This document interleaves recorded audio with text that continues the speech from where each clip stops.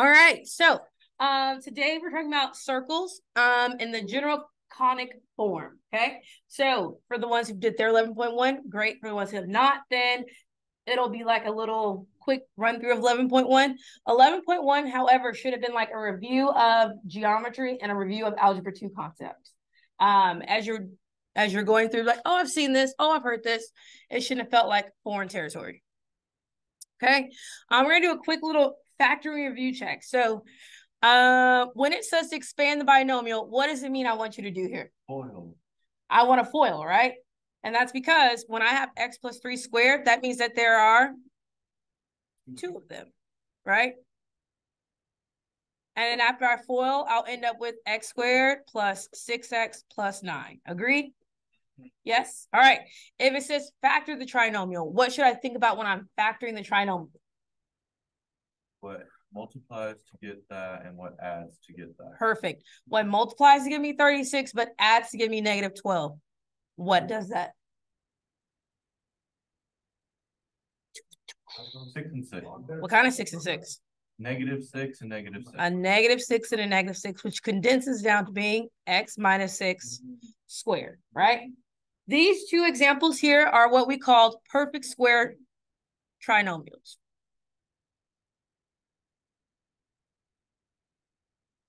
Okay, do we remember that? These are our perfect squares, meaning that if I had a square, pretend that this is like the best square you've ever seen in your life. Uh, it's a square because all the sides are equal, right? Yes? Okay. So what do we notice about this? Well, there was a pattern that we that we stated. This is actually x squared plus bx plus c. Um, and when you're looking at it, your C is going to always be half of your B divided by half of your B squared. So if you go back and look at our x squared minus 12x plus 36, what's half of negative 12? What is negative 6 squared? 36. 36. What's half of 6? Three. Three. What's 3 squared? Nine. 9, right? That's that's what the magic number is. That's our C, right? Okay. Now, this is important because we're going to need to recall this skill that we've done before. Okay. So just checking to make sure we got this. It's supposed to say we do, but it says I do. 16. Okay. so really quick, out loud, here we go. What is my missing number? 16. Why is it 16? 8 divided by 2 is 4. 4 squared is 16. Thank you. So this would be 16. Yes? Mm-hmm. And like Andrew said, it's because 8 divided by 2 is 4 and 4 squared is 16. Can you complete the square? Yeah. Yes, totally doable, right? Yeah? Honestly? Yeah. Yeah. Okay. All right. Let's do it. Here we go. So when we're trying to complete the square, it's a way of us being able to solve equations a little faster. Okay. Um, so the first thing you want to do is move the constant to the other side. So remember your constant is your number without a variable. So we're going to move our constant. Well, how do I move a positive eight? Subtract. it. Subtract it. So we're going to have x squared, 6x, and negative eight. Yes? Yes. Wow. Because this isn't a perfect square and we're trying to make it into a perfect square. Okay, so the ne next thing we're gonna do is add add the new number to both sides. So we gotta find our new number. So x squared is gonna be x squared, 6x is still x, but I'm gonna ask myself for my new c, c equals what? B divided b divided by 2 Squared. squared. And what is our b? negative eight. What's our b? Oh, Six. six. 6. So we have 6 divided by 2 squared. So what is our new c? Nine. 9.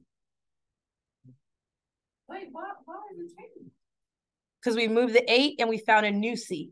So we're finding a new C to replace it. We moved eight because we're trying to make it into a perfect square. We're trying to complete the square. Okay. All right. Now on the other side, your negative eight is still there, but notice how I added nine here. What you do to one side, you have to do to the other or it will not stay balanced. So if I added nine to the left, I also have to add nine to the right. Hmm. So that's going to leave me with now this is a perfect square. This can be written as x plus 3 squared. And negative 8 plus 9 is what? One. 1. Okay, this is useful when solving. So I can solve now for x fairly, fairly easily. So if I want to solve for x, I have parentheses x plus 3 squared equals 1. What do I need to do to get x by itself? Square root Take the square root, perfect. And when you take the square root of something, It becomes a positive and a negative. a positive and a negative. What what's left for me to get x by itself? Subtract three. Subtract 3. So I'm left with x equals negative 3 plus or minus 1. So what are my two solutions? Um, three negative plus four, Negative 3 plus 1, which is, negative, uh, negative two, and then negative 3 minus 1 is, negative four. there you go. So you completed the square and you were able to solve. Yeah? Okay, well, this was easy because our leading coefficient was Casper the friendly one, right? What happens when it's not Casper the friendly one? It adds one more step, okay? So, I need a say red. Mm-hmm. y'all are being dramatic. Here we go. Step one is still to do what? Move the constant. So we need to move the negative 16. When I move negative 16, it's going to become a positive 16. Step two is to divide everything by the coefficient of x squared. Well, what's my coefficient? Four. Four, Four. right? So I'm going to divide everything by four. Divide u by four, divide u by four, divide u by four. And what am I left with? X squared plus two X equals four. Still with me? Yeah. Okay, step three is now we're going to add our new number. So we need to find our new C.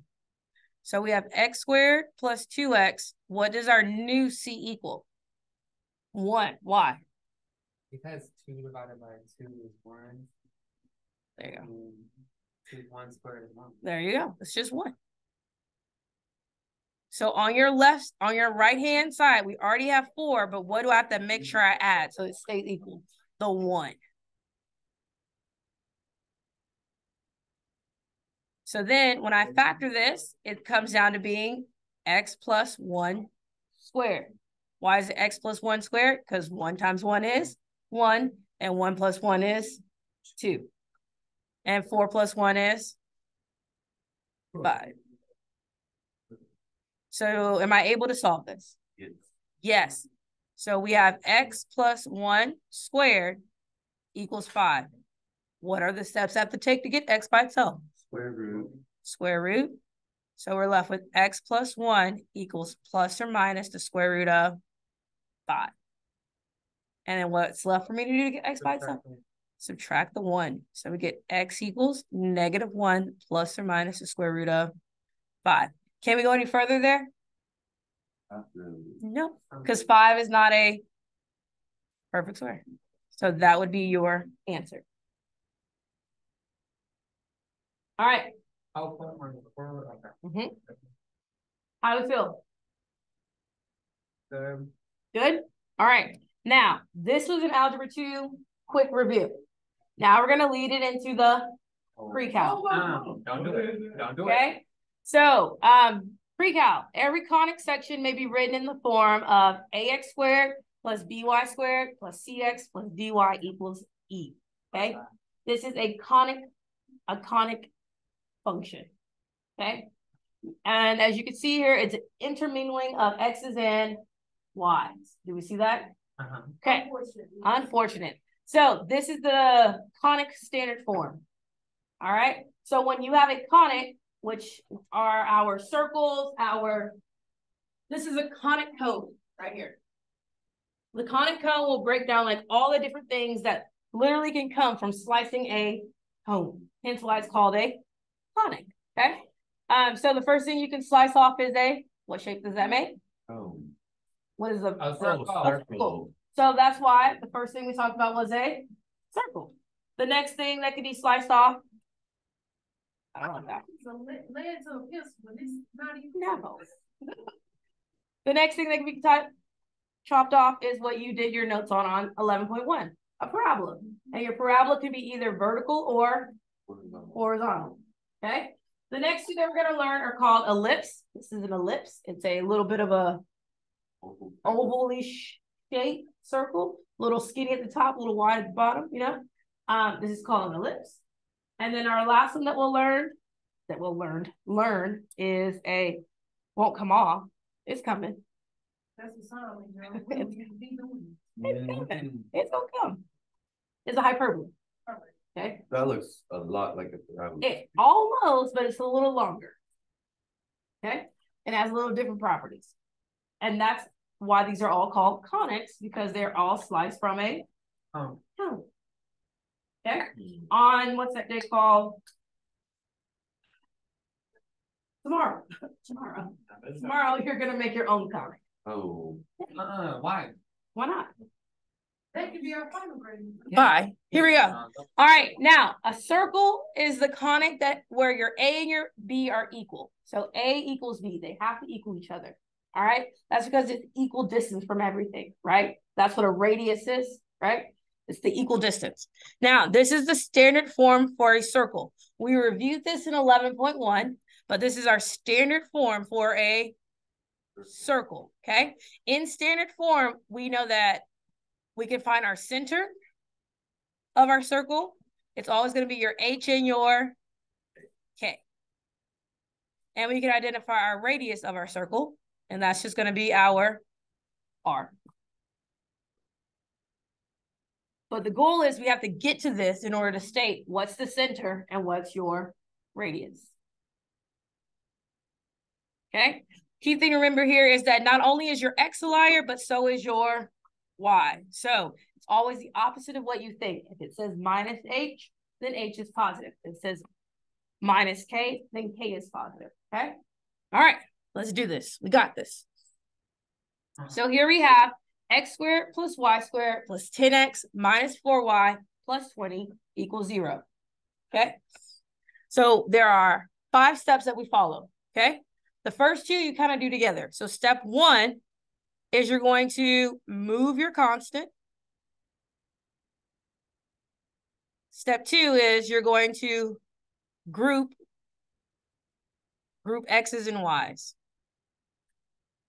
Okay, so we're going to move our constant and group our x and y's. Remember, this is our constant. How, do, how are we going to move a positive 20? Subtract it. So I'm going to group x squared plus 10x plus y squared minus 4y equals negative 20. Oh, you're grouping. You're grouping. You're going to group your x's and your y's.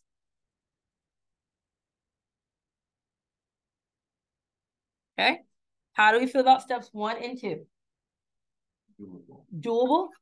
All right. Step three is you're going to complete the square.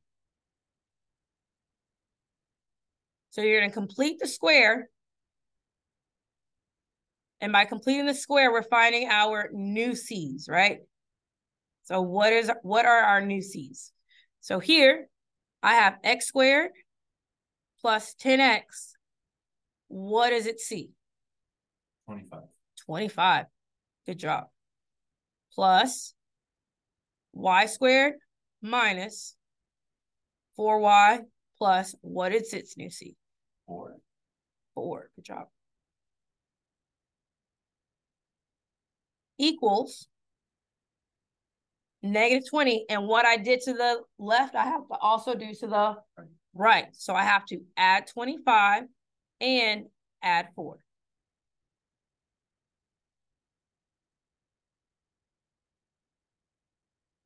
Yes? Yeah.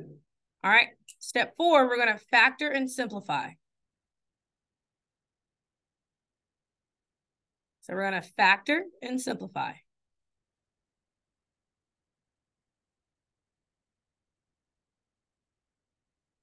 So when we factor this, it becomes x plus five squared because five times five is twenty-five. Five plus five is ten.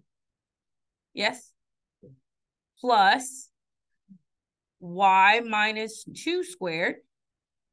Negative two plus negative two is negative four. Negative two times negative two is positive four. Equals negative twenty plus twenty-five is five. Five plus four is nine. And then step five is fairly easy. All you're doing is um, writing your constant in exponential. So basically, yeah. You're gonna take the, for lack of better, take the square root of your constant. So this would be written as three squared.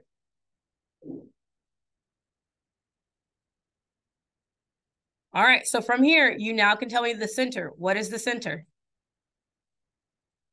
Um, negative five, two. Perfect. And what is my radius?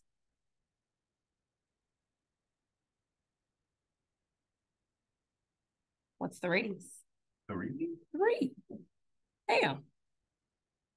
So you found your standard form, you found your center and your radius. Three squared and then negative five, two, and three. It would be this. This is your function, The answer. and then this would be analyzing it. Oh, Yeah. Was it terrible? yes. No.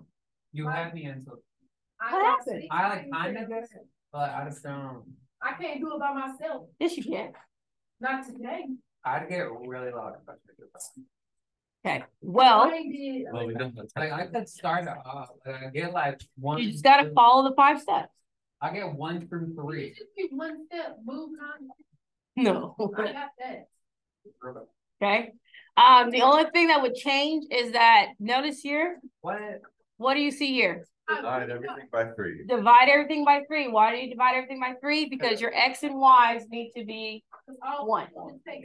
Okay, so we would divide everything by three and then repeat those same steps. Does that make sense? Mm-hmm. All you have to do. Okay. All right, so guess what your due now will be for tomorrow? Six. And seven. Oh. What, okay, pop. Your due now tomorrow will be six and How seven. you doing tonight? You're great and awesome. Thank you.